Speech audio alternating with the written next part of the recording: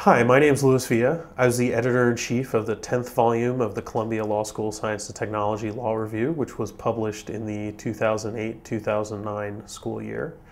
Uh, the Columbia Science and Technology Law Review, which we call STLR, is a student edited, student run law review that focuses on uh, law and technology issues. So, for example, patent law, but also uh, patent law or biotechnology law, but also things like the application of technology to the law.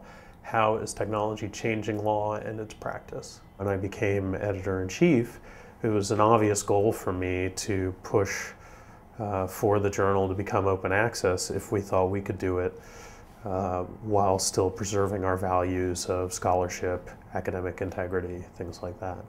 And uh, so I started talking to the other editors, and we looked at how we were already publishing. We were already publishing online and had been since day one.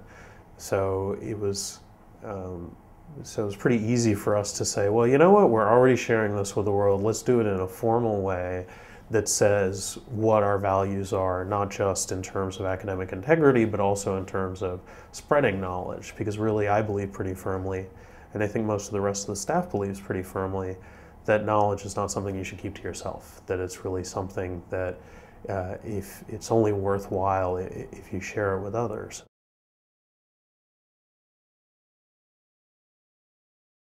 This doesn't really change anything for anyone who submits to our journal. The only positive change really for them is that we know from research in other fields that publication in open access journals, publication that's openly available on the web, increases your citation count. But otherwise, uh, the publication process should remain the same. In fact, since we're giving, since we're more explicitly giving all rights to the authors, uh, if anything, it makes the process easier because you have no worries about publishing on your own website, publishing on SSRN or other such places we allow and in fact encourage you to put, publish the final edited version and not just preprints or pre-edited versions, as is the norm for some other journals.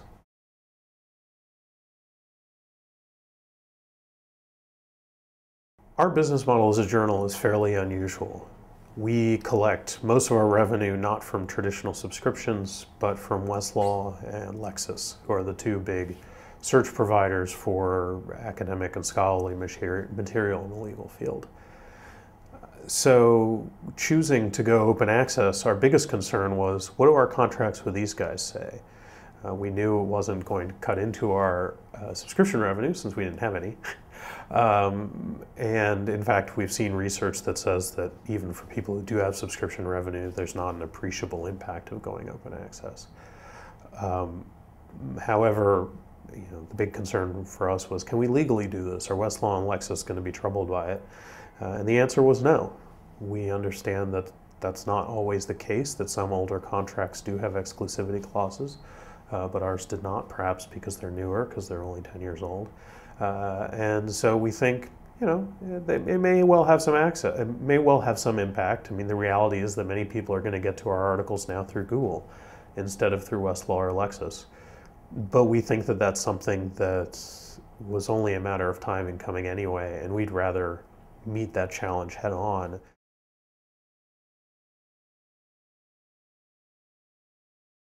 As part of our move to open access, we're making an effort to become more fully integrated with the web, you could say. For example, we're going to take advantage of the Columbia Library's uh, academic commons area and we're publishing through that. So we expect that, you know, as somebody said, if the island of Manhattan drops off the face of the internet and yet people are still looking for our articles, then uh, they'll be able to get to it because that information is stored uh, elsewhere. So we're making a move toward to really, you know, that aspect of academic publishing, that that information always is going to be there. Frankly we didn't have before and moving to as part of the move to open access we're taking care of that and making sure that our data really is permanent in the best sense uh, of the word.